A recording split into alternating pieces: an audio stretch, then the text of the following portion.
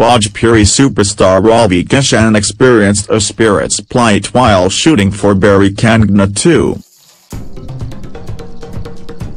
Bhojpuri superstar Ravi Kishan experienced a spirit's flight while shooting for Bairi Kangna 2. The actor said that while we all have heard about stories of spirits and ghosts in our childhood, this was the first time that he actually got to experience spirit's pain while shooting for Bairi Kangna 2.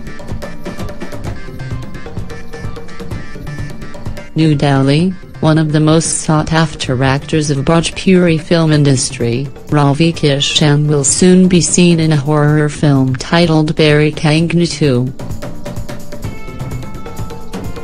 Ravi, recently in an exclusive interview with Devendra Gupta shared about his experience while shooting for the film.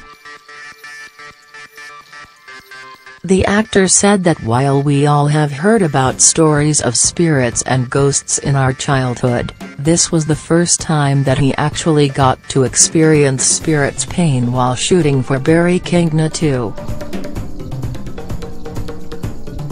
While shooting for a scene where the spirit enters Kishan's body, the actor could feel the pain of the spirit through his acting.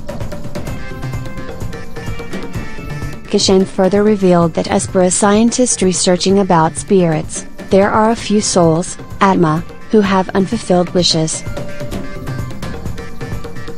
Due to the untimely death of these souls, some of their wishes remain unfulfilled which is why they are unable to attain moksha.